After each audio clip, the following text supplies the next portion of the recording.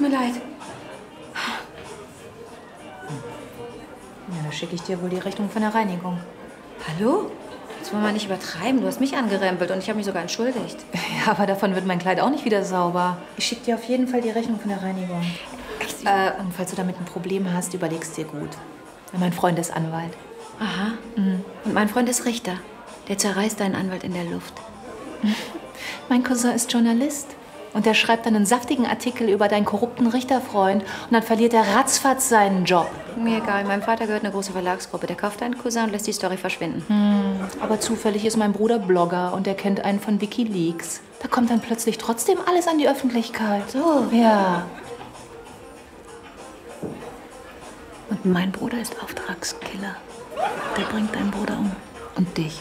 Und deine ganze Familie. Wenn ich das will.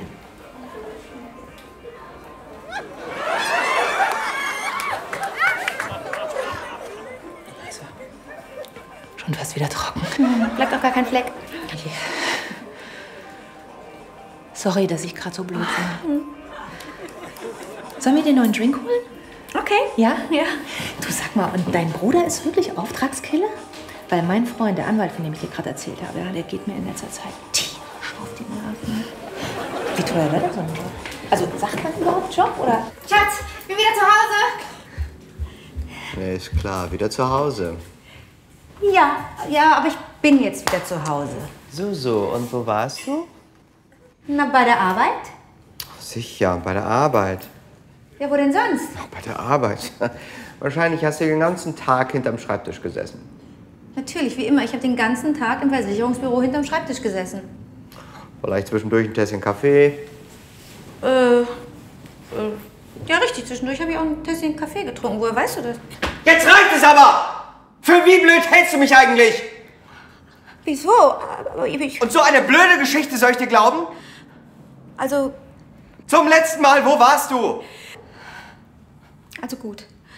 Ich, ich, ich war auf einem Piratenschiff mit einer wild gewordenen Bande einäugiger Seemänner.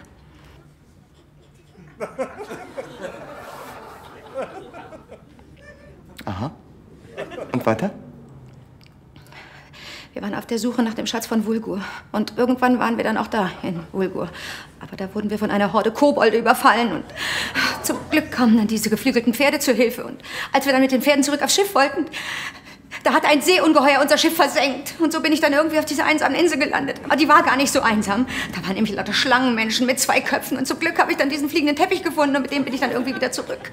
Unterwegs hat dann so ein verrückter Zauberer mir meinen zweiten Schuh gestohlen. Wie sah der Zauberer aus? 1,85 groß, langer weißer Bart und so ein Kniepen im linken Auge. Wusste ich's doch.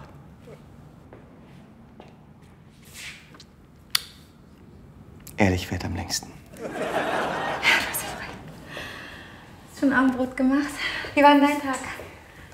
Also bei mir war es richtig spannend. Ähm, wir haben heute in der Schadensregulierung ein neues Ablagesystem bekommen. Nein, das gibt's doch nicht jetzt.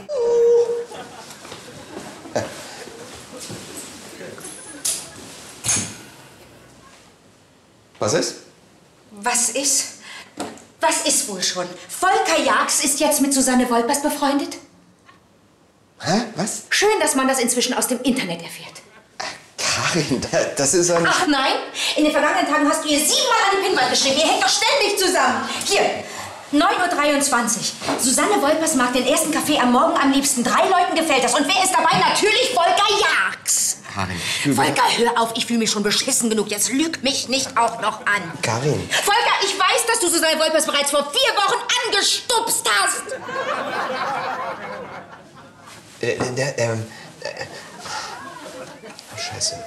Scheiße. Volker, ich weiß alles. Ich weiß, dass ihr zusammen in der Mafia Wars Gruppe seid. Ich weiß, dass ihr zusammen bei Farmville seid. Und ich weiß, dass ihr beide der Gruppe Rettet das Wuppertaler Schauspielhaus beigetreten seid. Da bin ich schon wieder raus. Ihr habt euch gegenseitig bei My Birthday bestätigt und hast vor zwei Stunden ihre Smile-Anfrage bestätigt. Soll ich weitermachen, Volker Jags?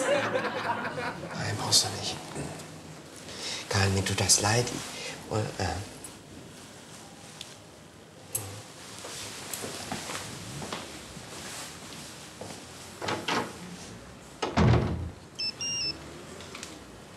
Volker Jags? auch schon mal besser drauf. Karin Lübke gefällt das. Arschloch.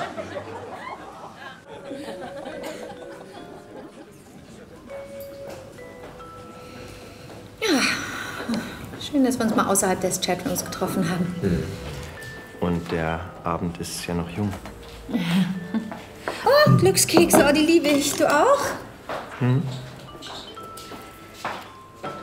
Ein wunderschöner Abend sollte mit dem Ende des Essens zu Ende gehen.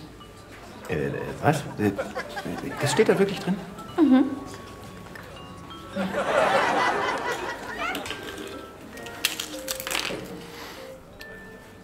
Wenn es am schönsten ist, soll man weitermachen, sonst ist niemand mehr dabei, wenn es noch schöner wird.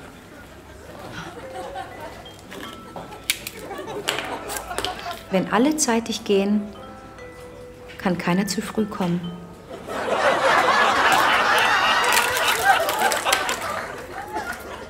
Nichts ist kälter als ein Winter am Südpol, außer einer frigiden Frau.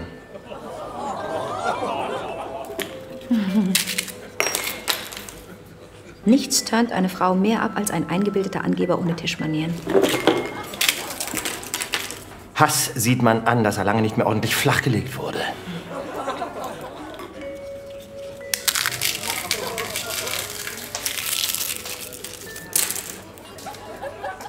Großer Mund hat kleinen Pimmel. Kleiner Pimmel ist besser als gar nichts, wenn man so frustriert ist, dass einen keiner mehr will. Entschuldigung. Ähm, ich glaube, mit den Glückskeksen hier ist was nicht in Ordnung. Kleiner Pimmel ist besser als gar nichts, wenn man so frustriert ist, dass einen keiner mehr will. So ist alles in Ordnung. Die Rechnung? Ja. Kai, das war eine ganz tolle Nummer. Glückwunsch, sehr lustig. Ich habe in dem Sketch gar nicht mitgespielt. Ja, und genau das hat der Nummer sehr gut getan. Mehr davon. Ach, mein Kai. Aber ich,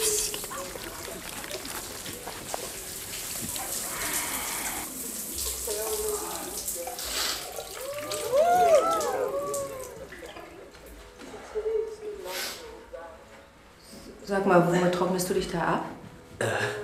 Mit einem Handtuch? Ja, das sehe ich, aber mit was für einem Handtuch? Mit dem, was da hing? Das Handtuch, das da hängt, ist das Waschbeckenhandtuch. Damit trocknet man sich die Hände und das Gesicht ab. Damit rubbelt man sich nicht den Arsch trocken. Wieso? Geht doch, guck mal. Hier. Trocken. Hier. Trocken. Und jetzt. Trocken. Und nachher soll ich mit dem Lappen, mit dem du dir durchs Gemächt und durch die Arschritze gefeudelt hast, das Gesicht sauber machen. Sag mal, geht's noch? Naja, komm, so groß ist der Unterschied mal auch nicht.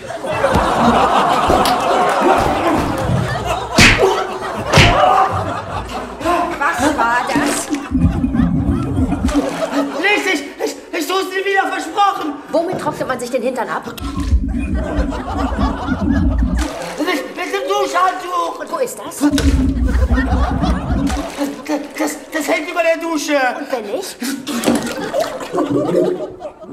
Dann hol ich mir Neues aus dem Schlafzimmer! Und zwar wann? Äh, vor der Dusche, damit der Teppich nicht nass wird! Na bitte. Du, ich nehme mal kurz deinen Nassrasierer für. Ja?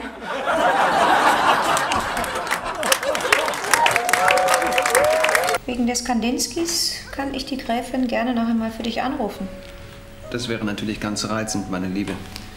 Wäre meine Sammlung noch dann komplett. Oder wir fliegen am Wochenende schnell nach London.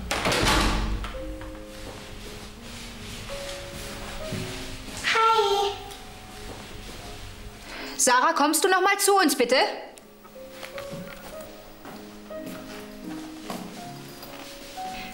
Weißt du, wie spät es ist? Wenn ich der jungen Dame helfen darf, es ist kurz vor zwei. Nachts. Vielleicht hat sie ja unsere kleine Abmachung vergessen. Magst du sie daran erinnern, Burkhard? Sehr gerne, Johanna. Sarah! Wir hatten doch folgende Abmachung getroffen. Du nimmst die Frühmaschine nach St. Petersburg, triffst dich mit dem Vorstand von Gazprom, tütest die Fusion ein, besprichst dich mit den Anwälten von Pierre Slavkov und bist spätestens um acht wieder zu Hause. Um acht! Jetzt ist es zwei. Aber ich habe den Europachef von Microsoft getroffen und, Und? wir haben jetzt die Aktienmehrheit. Sag mal, kannst du denn überhaupt irgendetwas, Sarah? Für so einen Quatsch schlägst du dir die Nächte um die Ohren, obwohl du morgen ganz früh nach New York musst. Ab ins Bett und ich will kein Wort mehr hören. Aber Dennis war gestern auch bis 5 Uhr mit dem Gewerkschaftsboss beim Table Dance. Erstens ist Dennis acht und zweitens gehört ihm der Club. Und jetzt gute Nacht. Hallo Günther. Machen wir was falsch? Johanna, hilf mir. Sarah, kein Online-Banking nach 22 Uhr. Vielleicht ist es ja nur eine Phase. Ich werd wahnsinnig mit dem Kind. Ja, hier kann ich Ihnen noch zwei Gebrauchtwagen anbieten. Blau ist gerade die absolute Trendfarbe. Und hier haben wir einen Jahreswagen. Der kam gerade letzte Woche rein. Haben wir natürlich noch mal komplett general überholt, aber Sie sehen ja selber, der ist quasi wie vom Werk. Hat circa 4000 Kilometer gelaufen und ist, ähm, ja, also da ist nichts dran. Sieht gut aus, oder? Mhm, macht einen guten Eindruck. Müsste man mal testen. Können wir uns da vielleicht mal reinsetzen? Natürlich. Bitte schön. Danke.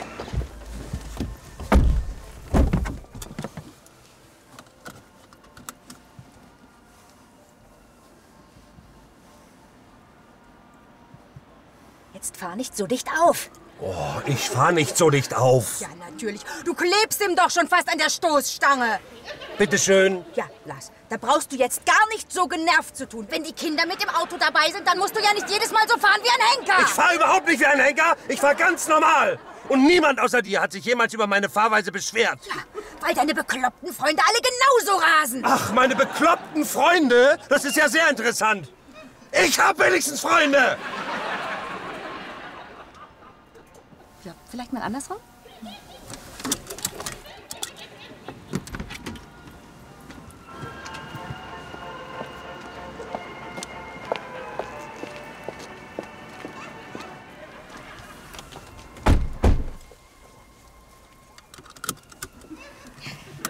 Sibylle, nun fahr doch eben an dem vorbei. Wir sind ja morgen noch unterwegs. Ich sehe nicht, ob da einer kommt. Ist doch alles frei. Der vor uns fährt doch schon extra rechts. Mir ist das nun mal zu unsicher. Oh. Lars, willst du fahren? Dann fahre ich rechts ran. Sonst halt jetzt bitte echt die Klappe. Mann. Ich kann's nicht mehr hören. Ich darf nie fahren. Nie. Höchstens mal, wenn wir eingeladen sind und der feine Herr will saufen. Dann kann ja schön die doofe Sibylle fahren. Aber anstatt dich dann dankbar zu verkrümeln und die Klappe zu halten, flätst du dich breitbeinig dahin und bist die ganze Zeit am Klugscheißen. Das kotzt mich an, ey! Ja, ja, ja. Das war das letzte Mal. Das nächste Mal nimmst du ein Taxi. Da kannst du klug scheißen. So, Lennart! Und wenn du noch einmal den scheiß Pinguin anmachst, dann schmeiß ihn aus Fenster! Jetzt lass die Kinder in Ruhe!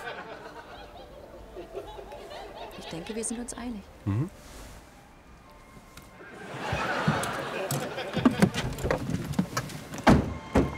Das ist er. Das ist unser Wagen. Ja, super, ich freue mich. Dann mache ich mal die Papiere fertig. Mhm. So, noch ein Roussillon. Bitte schön. Danke. Wirklich das allerletzte, Philipp. Weil ich ehrlich zu dir bin? Ehrlich? Ich glaub's ja wohl nicht. Du bist ehrlich zu mir. Das ist ja wohl der größte Witz überhaupt. Ist das deine Auffassung von Ehrlichkeit, mich innerhalb eines Monats mit zwei Frauen zu betrügen? Mal, geht's vielleicht noch ein bisschen lauter? Ja, es geht lauter. Du bist nicht ehrlich. Du bist ein mieser kleiner Ficker, Philipp Gut. Und du bist eine frigide Alkoholikerin. Du spielst dich hier nicht als Richter auf, Philipp. Du nicht!